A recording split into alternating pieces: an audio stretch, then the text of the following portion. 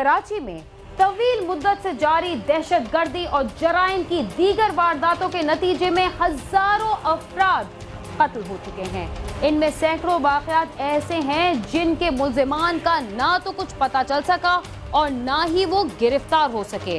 दुख की बात तो ये है कि ये सिलसिला अब भी पूरी शिद्दत के साथ जारी है और ना जाने कब तक जारी रहेगा। यहाँ के इलाके नॉर्थ कराची में एक भाई को इंतहाई बेदर्दी से कत्ल कर दिया गया। मगर उसकी तलाश में जाने वाले दूसरे भाई के साथ जो कुछ हुआ, उसे सुनकर किसी भी इंसान के रोंगटे खड़े हो सकते हैं। आज के प्रोग्राम में आप ये भी देख सकेंगे कि इस्लामाबाद में बच्चों की लड़ाई बड़ों के लिए मुसीबत कैसे बनी और हुज्जर शाह मुकीम में डाकुओं के हाथों खवातीन पर क्या बीती।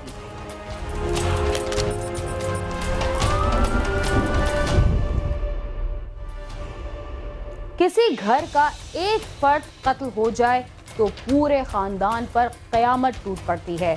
मगर कराची का एक ऐसा खानदान भी है जिसका एक फर्द तो कत्ल हुआ और उसका दूसरा भाई उसकी तलाश में निकला तो ऐसा खोया कि पूरे खानदान का मुस्तबिल भी अंधेरों में डूब गया। दोनों भाइयों के साथ क्या हादसा पेश आया? आइए देखते हैं इस रिपोर्ट में।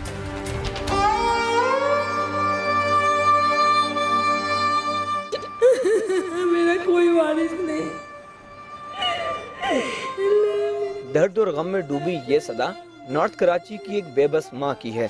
इस शहर बेअमा में होने वाले दहशतगर्दी के वाकयात ने न जाने ऐसी कितनी ही माओ से उनके लखते जिगर छीन लिए हैं। ये बूढ़े माँ बाप भी कुछ ऐसे ही हालात का शिकार हैं, जिनके लखते जिगर न जाने किस जुर्म की पादाश में मौत की नींद सुला दिए गए। और ये हसरत यास की तस्वीर बने अपने बेटों के कातलों की गिरफ्तारी की उम्मीद लगाए बैठे हैं।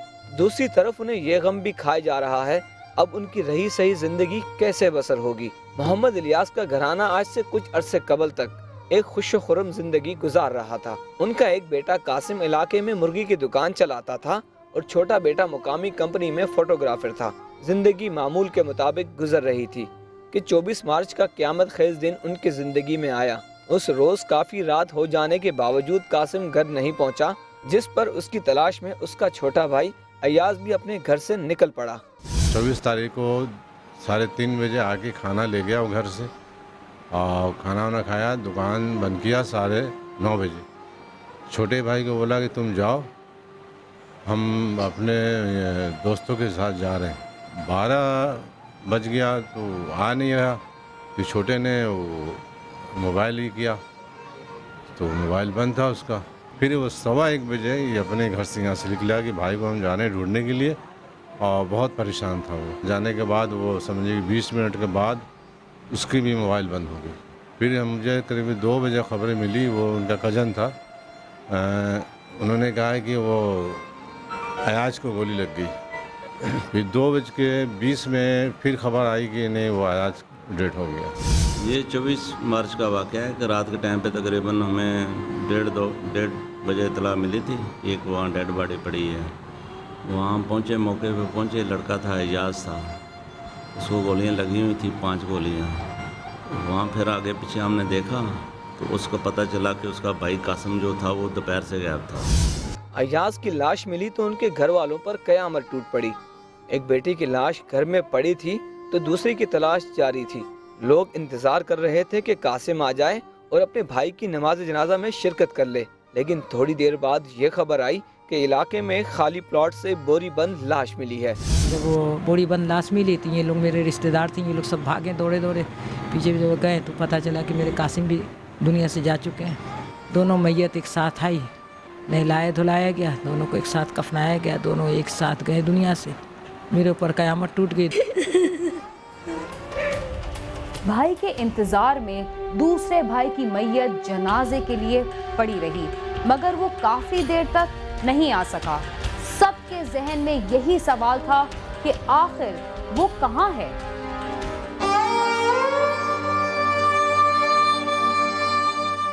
कासिम और अयास की मौत के बाद उनके दो मासूम बच्चों का मुस्तकबिल अंधेरे में डूब गया है जिन्होंने अभी पूरी तरह बोलना भी नहीं सीखा। घर से दो भाइयों के जनाजे निकले तो उनके घर का मुआशी जनाजा भी निकल गया है।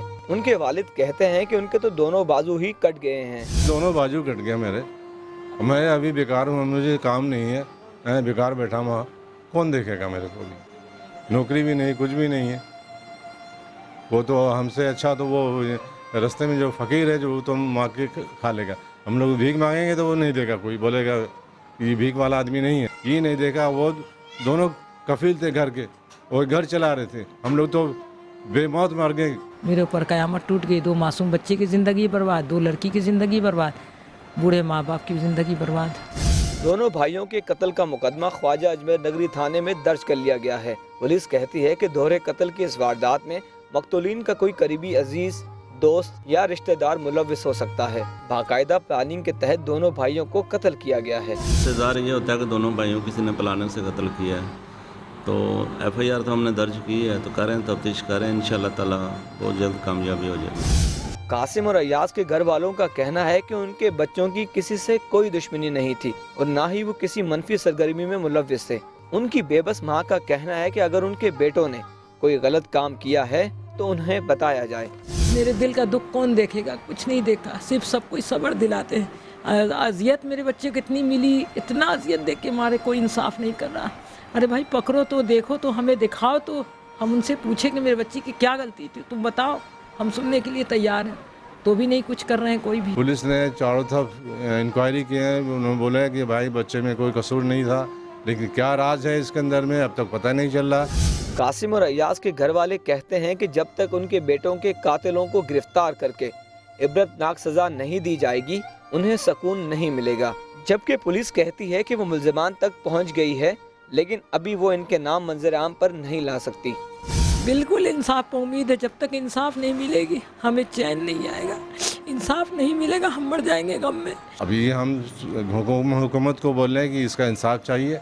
कुछ ऐसे बातें होती हैं जो सामने मीडिया पे नहीं करनी चाहिए क्योंकि उससे मुलजमान को फ़ायदा मिल जाता है। तो उसमें काम हो रहा है हमारे बाला अफसरान बड़ी इसमें इंटरेस्ट ले रहे हैं। दो तीन दिन पहले एसएसपी साहब ने मुझे बुला के कुछ इंस्ट्रक्शन थी वो भी दी थी।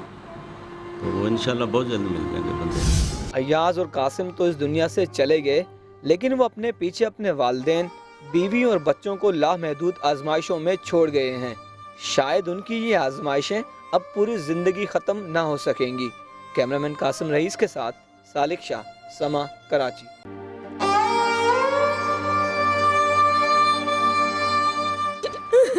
मेरा कोई वारिस नहीं कराची में ऐसे कई वालदेन हैं जो अपने बच्चों के कत्ल के बाद ज़िंदा दरगोर हो चुके हैं। वक्त हुआ एक मुख्तसर से वक्फे का। आप समा के साथ ही रहिए।